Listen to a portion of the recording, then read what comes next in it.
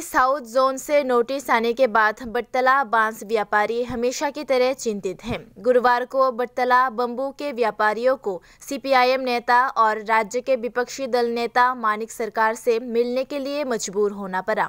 उन सभी ने विपक्षी मंत्री के पास अपनी समस्याओं को उजागर किया। वही विपक्ष के नेता मानिक सरकार ने मामला सुनने के बाद कहा कि वे उन्हें पत्र लिखकर दे। वे इन मामलों को सरकार के समक्ष लाएँगे। साथ ही मामले की जानकारी राज्य के मुख्यमंत्री श्री विप्लव कुमार देव को भी सौंपी गई, ताकि पत्र के ज़रिए उनको मामले से अवगत किया जा सके।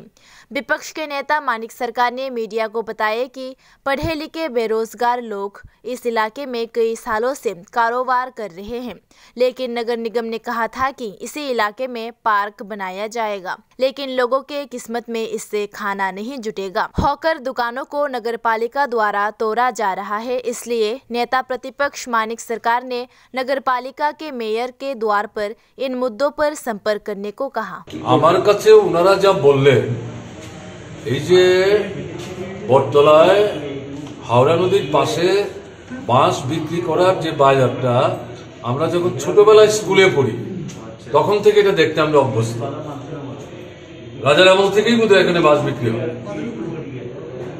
বামফ্রন্ট সরকার ছিল, সেই সময় আমরা যখন মোটর স্ট্যান্ডটা বড় জায়গায় নিয়ে যাওয়ার সিদ্ধান্ত নিলাম পেট্রোল পাম্প এখান থেকে সরাতে হবে। তখন অটোরিকশার সমস্যা হয়ে গেল, তারা কোথায় যাবে? তারা এসে এই বাস বাজারটার পাশে তারা বসবার চেষ্টা করেছেন অটোরিকশা নিয়ে। তাদের প্রথম থেকে কিছু কিছু ভুল বোঝাবুঝি তৈরি হয়েছিল।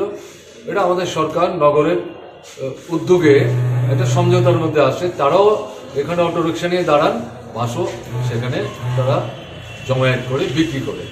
এখন এই ভদ্রলোকরা এসে বললেন যে, এর আগেও নাকি তাদের এগুলি এখান থেকে সরিয়ে নেওয়ার জন্য তাদের বলেছে। তারা কোর্টে গেছেন কোর্ট তো স্টে দিয়েছে। কোর্ট নাকি তাদের বলেছে, তারা যা বললেন যে, আমাদেরকে বিকল্প না দিয়ে এখান থেকে সরাবেন এবং বিকল্পটা তো একটা ভালো জায়গা হতে হবে। যেখানে বাস কেনা বেচা করতে সুবিধা হবে, আমরা যাব কোথায়?